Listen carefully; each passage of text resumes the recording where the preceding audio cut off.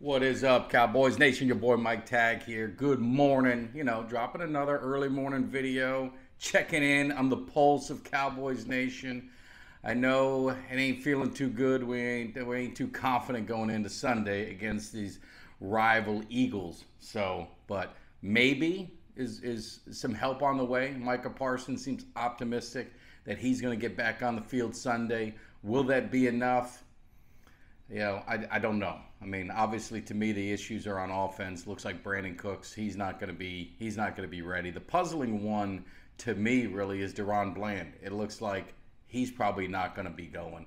And I mean, we're getting into what 10, 12 weeks uh, with this injury, and I'm just I, I just don't know why. Uh, there's obviously got to be something going on to make it take this long to get back on the field, but maybe with Parsons, he gives the team a little spark. I know a lot of us, you know, in Cowboys Nation, we are just looking to, to, to tank to get the draft pick. I get it. It's hard for me to to concede anything, especially when you're playing the Eagles, man. It'd be nothing better than everyone. Nobody thinks we're going to win. The Eagle fans are just salivating to pounce on the on this injured, depleted Cowboys team, and the Cowboys pull off a miracle that would almost be uh, that would almost be redemption for the season at this point. But you know, we'll see what happens. You know, you also saw the news with Dak Prescott. There's been a lot of question: how injured was he? Could he have gone back in?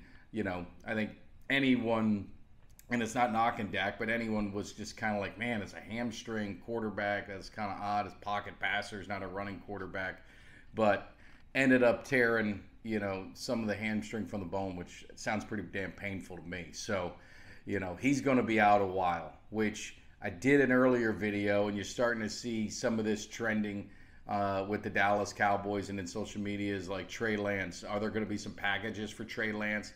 Could he see some time? I think his legs would help. Obviously, his accuracy, he struggled in preseason, just inconsistent, had good moments and bad. Cooper Rush is going to be that steady Eddie that's just going to kind of get things going. But the problem is we don't have we don't have the offense right now that he can just you know do what he does, play within this, be a game manager, and make things happen. Our running game, obviously, it showed some light life, uh, you know, against Atlanta. Philadelphia's got you know pretty stout defensive line. I don't know if we're going to have the success in the running game. I think the opportunity if there's anything for the Cowboys is to attack their secondary. They've struggled a little bit uh, in the secondary. So, you know, with Trey Lance, buy some time, use them legs, make things happen. In my opinion, at this point in the you know in the season, I would rather go with the quarterback that has the most upside. So to me, I still believe, even if you're not going to start Trey Lance, I would I would get some I would get some packages in there to utilize some of his skill set to try and see if he can give any kind of spark to this team. So, but hey, man, if you guys are, are new to the channel, I know we got some new subscribers. Just want to give, give a quick thank you to all of the new all the new subscribers. Everyone who's been loyal to the Cowboys Cave through good times and bad. We're going to be live tonight. Usually it was on Wednesday, but if you guys follow me, you know my daughter had her last home or her last football uh, cheer game as senior high school. And um, so that was tough, man. You see your kids grow up fast, see them grow up real fast. And she's she's our youngest. My son is is 20. She's uh, she just turned 18, so going to be going off to college. So it's like, man, what am I going to do? Got to keep working hard to pay the bills, but also have some fun with Cowboys Nation. That's why you see we drop these videos every now and then. Got to find got to find something to kill the time, and there's nothing better to me killing time outside the family and friends is, is talking some Cowboys football. Even through even through these tough times, we're gonna we're gonna get through it. I just hope whatever happens this season, it's an it, it it's kind of an awakening to Jerry Jones to understand that this is unacceptable. I mean, the drought that this team has been in, you know, the culture that, that you're seeing, the, the media, you know, hype is always going to be there because you got the star in the helmet.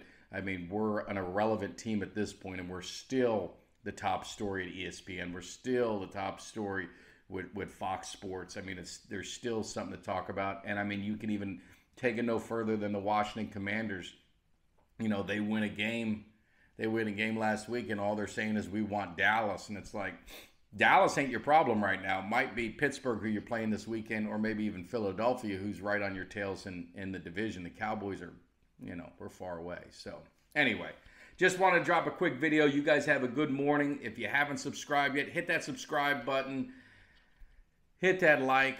We're going to be live tonight. Love taking calls. We also do a Sunday morning call. And also, if you're new, ton of uh, interviews with a lot of champions, a lot of champions that have been in this cave. We've interviewed former Cowboy greats like a Bob Lilly, Moose Johnston, James Washington, my man Kevin Gogan. If you guys hadn't seen that interview, check it out. Eugene, the hit machine Lockhart, he's always popping in and out on the channel. He brings the energy, he brings the hype. He may be showing up tonight, so check it out. But Cowboys Nation, it's just, you know, we're going to get through this, but better believe the hype train isn't going to stop. It might change a little bit.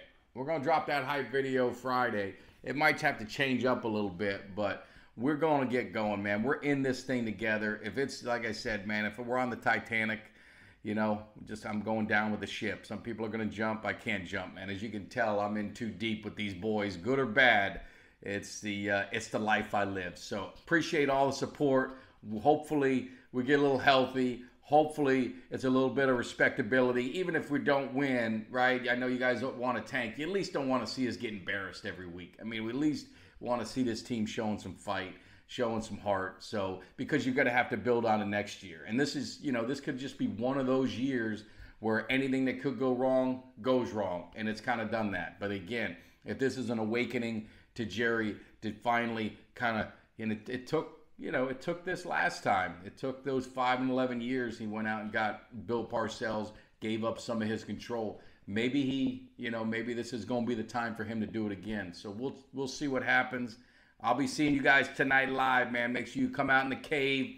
It's going to be at a special time, 7 p.m.